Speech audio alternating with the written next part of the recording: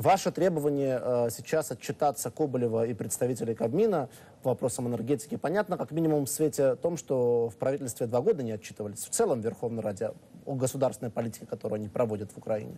Но сейчас конкретно чем обусловлено это требование и будет ли на него реакция какая-то? А я думаю, що наша вимога цілком логічна. Коли уряд хоче підняти до 11 тисяч гривень за тисячу кубів газу, вони повинні прийти і прозвітувати людям, звідки така ціна. Коли собівартість українського газу півтори-дві тисячі гривень, вони повинні пояснити, які підстави для підвищення цін на газ, для того, щоб Нафтогазу керівникам знову премії по 45 мільйонів євро виплачували, для того, щоб Укргазвидобування 300% рентабельності мало, залізши в кишеню до кожного українця. Люди останні віддають за ту комуналку, щоб вони собі по 3 мільйони гривень зарплати в місяць нараховували. Я не проти великих зарплат. Ми навпаки боремося за те, щоб у людей великі зарплати були. Але уряд розказує, що мільйонам робітників зарплат грошей немає на підвищення зарплат. Вони шукають варіанти, як зробити так, щоб люди не відчули підвищення цін на газ. Я вже підказую цей варіант: підвищення зарплат.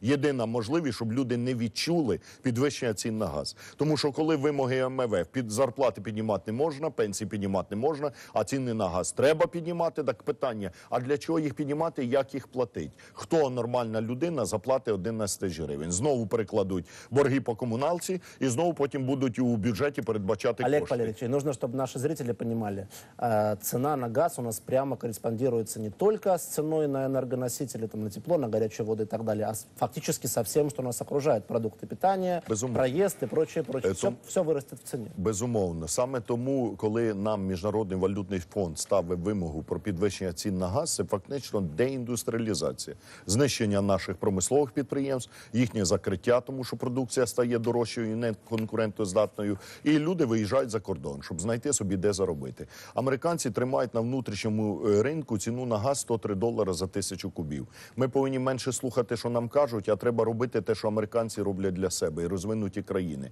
Нам навпаки треба знижувати ціни на газ на внутрішньому ринку для промисловості, давати дешевші енергоносії, заохочувати енергомодернізацію, щоб більше платили зарплати, і щоб наша продукція ставала конкурентоздатною. Тому що в результаті підвищення цін на газ ми просто дорожчаємо продукцію. Вона стає неконкурентна і на зовнішньому ринку, і на внутрішньому ринку. І від цього програє кожен українець, який втрачає зарплату і втрачає робоче місце. Тепер, що стосується підвищення цін на газ у житлово-комунальному секторі, для того, щоб не підвищували тарифи, вихід один енергомодернізація, не консервація бідності через субсидії. Коли минулого року обсяг субсидій був 45 мільярдів гривень, у цьому році 78 мільярдів гривень. У наступному такими темпами буде 150 мільярдів гривень. Тобто, всі гроші йдуть на субсидії, на виплати боргів по зовнішніх зобов'язаннях і все. А ми пропонуємо іншу політику: зниження вартості тарифів через енергомодернізацію, масштабні програми енергомодернізації, заміна вікон, котелень, дверей, теплотрас, лічильників кожну хату за рахунок державного бюджету облгазів,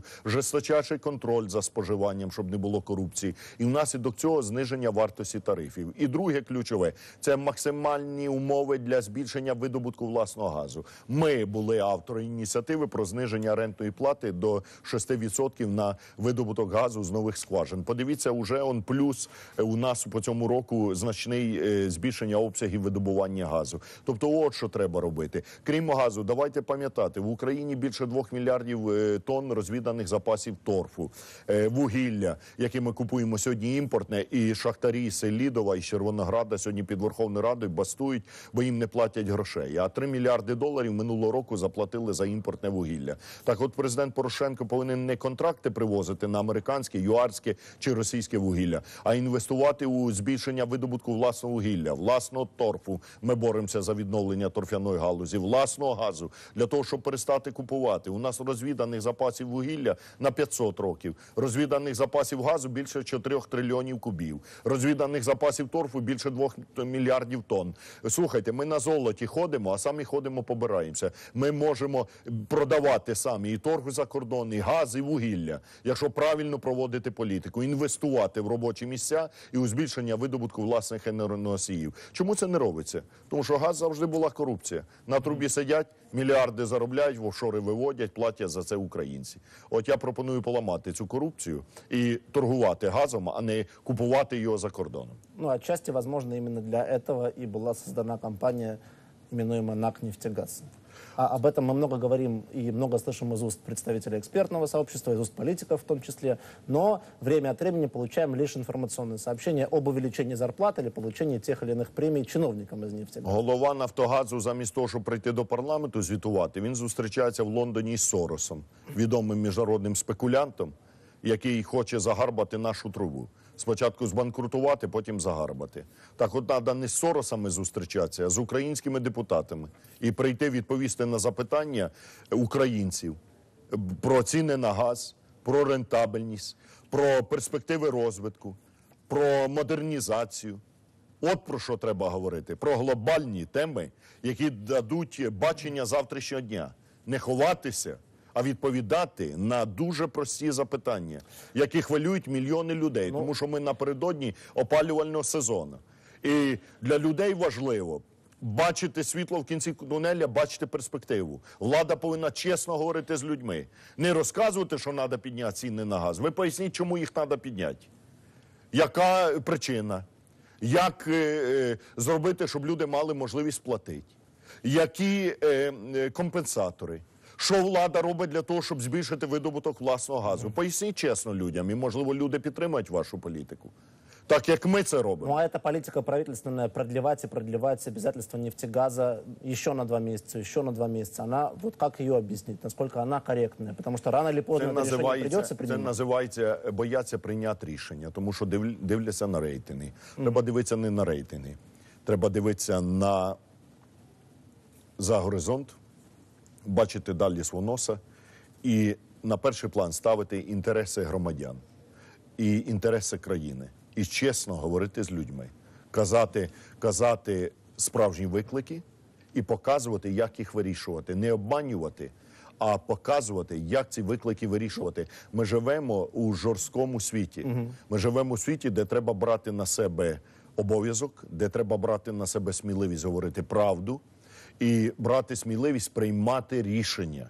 Рішення приймати. От якби президент Порошенко не заглядав би зранку в свої рейтинги, а брав би на себе сміливість приймати рішення, я абсолютно переконаний, що ми б уже вирішили проблему війни на Донбасі.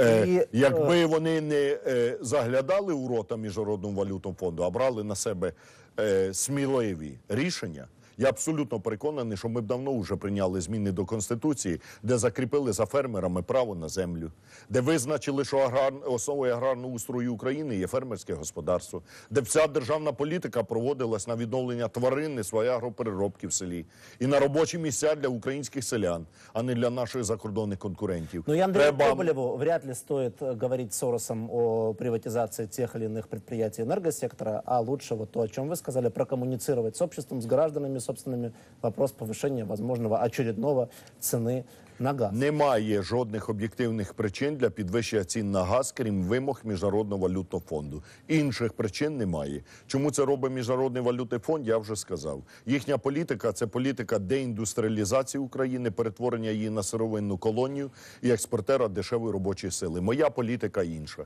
Це відновлення космічної держави. Сьогодні от ми прийняли постанову, увічнили пам'ять Леоніда Каденюка, космонавта.